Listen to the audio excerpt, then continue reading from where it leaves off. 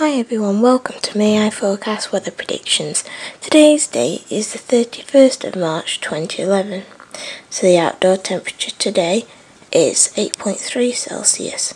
The dew point is 7.3 Celsius and the humidity is 93%.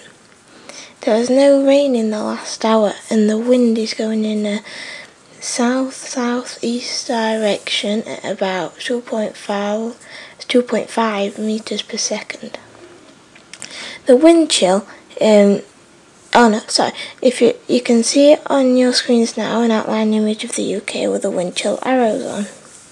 Um, so the arrows are a dark blue, light purple, which means the wind chill is between 7 up to 3 Celsius.